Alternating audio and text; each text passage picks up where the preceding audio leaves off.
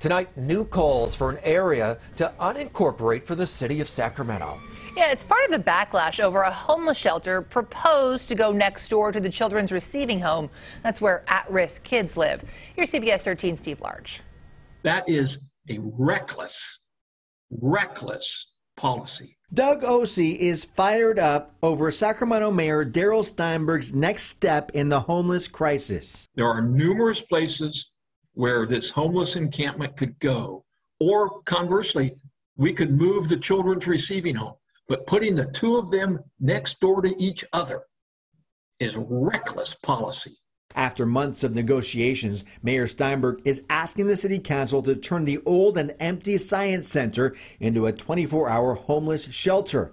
Along with Ose's outrage over the policy, the black line denotes the city of Sacramento municipal boundary. He made this map showing why he's angry the city has all the control over the site. This is about 90 acres of parkland. It's controlled by the city of Sacramento, but the nearest city voter is way over here, a mile away.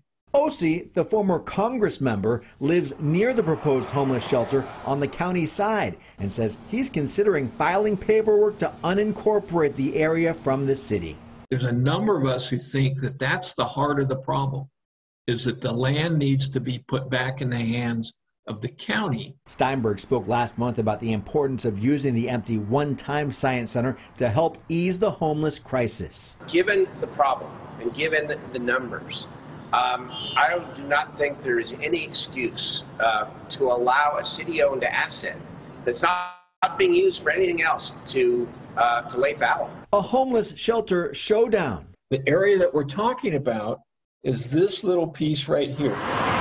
And backlash that's turning the city's boundary line into a dividing line. Now, Ose also points out the city would have veto power over any attempts to unincorporate. That proposal is set to go before council members later this month.